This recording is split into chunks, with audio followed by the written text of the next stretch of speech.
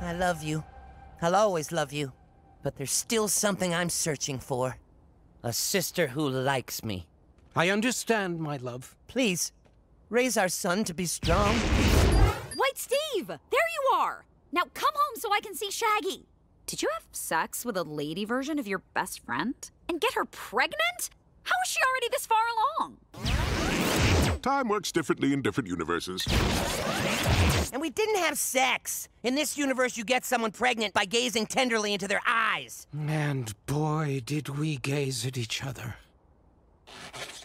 Steve, let's go. No. You only ran after me so Mom will let you go to your precious Shaggy concert. And even after traveling the multiverse, that's still all you care about.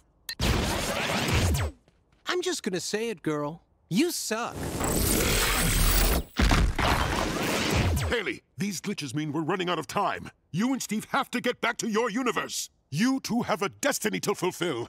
And if you two don't make it to that Shaggy concert, the entire multiverse will implode. Why didn't you say that earlier? It wasn't pertinent information before.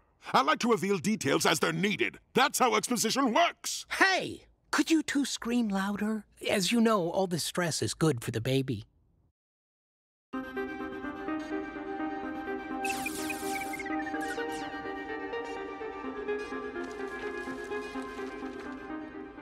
Don't get it. This freak show of a universe, no offense, is perfect for Steve. Why'd he leave? Because he's looking for a version of you who wants to hang out with him. I see him every day. Listen, Steve's a good guy, and he'll be a great absent father. And he deserves a Hayley who'll do more than just tolerate his presence.